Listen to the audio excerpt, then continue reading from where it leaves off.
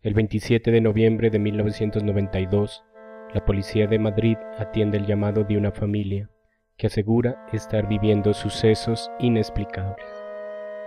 Al llegar a la residencia los policías no pueden con su asombro al ver armarios abrirse solos, escuchar golpeteos en la terraza sin encontrarse nadie allá, una cruz extraña al Cristo que fue desprendido de ella y una gran mancha con características de color café, el cual aseguran que eran babas, adorna la pared. Todo lo vivido por los policías aquel día quedó registrado en el informe oficial, constituyéndose en el único expediente policial que habla sobre sucesos anormales.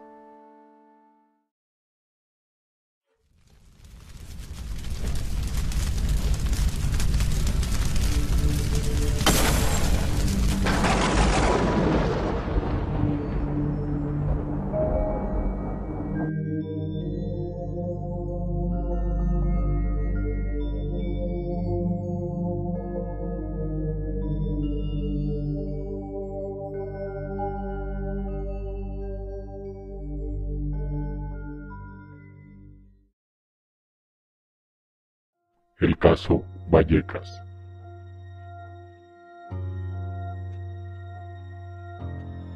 Las víctimas de dichos acontecimientos fueron la familia Gutiérrez, quienes habían tenido que vivir experiencias extrañas, las cuales se asocian a un abuelo fallecido que juró venganza y a una hija que sufrió una asfixia inexplicable, la cual se encargó de quitarle la vida. Estefanía Gutiérrez tenía un gusto por el ocultismo.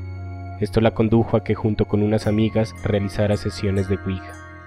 En una ocasión, en su instituto, intentando que una amiga logre entablar contacto con su novio fallecido, fueron descubiertas y la sesión fue interrumpida abruptamente. Pero lo peor de todo es que el tablero fue destruido y según cuenta la historia, una especie de humo negro fue aspirado por Estefanía. Aquel acontecimiento quiso ser olvidado y recibió muy poca importancia por Estefanía, hasta que las cosas comenzaron a cambiar, y ella, ella comenzó a experimentar cambios bruscos en su personalidad. También empezó a presentar convulsiones, a tener alucinaciones, a escuchar voces, de las cuales algunas lograban acobardarla, e incluso comenzó a sentir sombras siguiéndola. No hubo respuestas médicas o psicológicas que pudieran ayudarla, y cada vez Estefanía era menos consciente de sus acciones.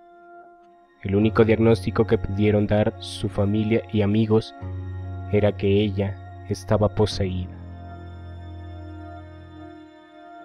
Estefanía fue ingresada en el Hospital Gregorio Marañón el 14 de julio de 1991. Ahí encontraría la muerte. La razón ella muere por asfixia. Aunque las razones reales para producir la asfixia aún vagan en lo inexplicable.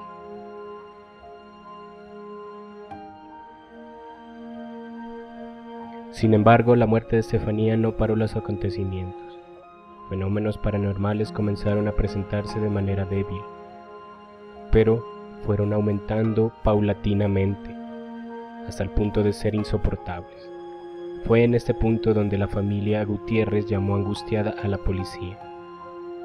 En el edificio, el número 8 de la calle Luis Marín de Madrid, llegó la policía encontrándose a la familia en la puerta.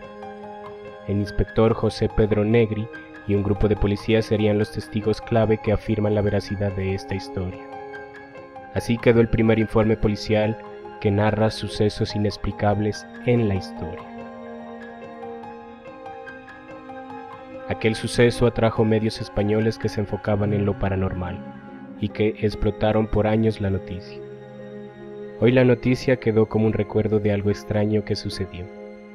La propiedad fue vendida a otros dueños y sus nuevos habitantes afirman nunca haber vivido sucesos paranormales. Puede ser escéptico o creyente, pero lo único cierto aquí es que una joven murió de causas inexplicables y que, un informe detallado con la valía de que es un informe policial y que además cuenta con testigos, existe, siendo considerado el primer caso paranormal documentado en un expediente policial.